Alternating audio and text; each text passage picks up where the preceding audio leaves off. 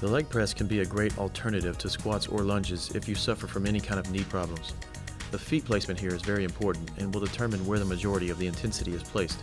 Always keep the feet higher to protect the knees and to place more focus on the glutes and hams. Keep the feet together and lower on the platform if you want to solicit more of the quads, and spread the feet apart to engage the inner thighs.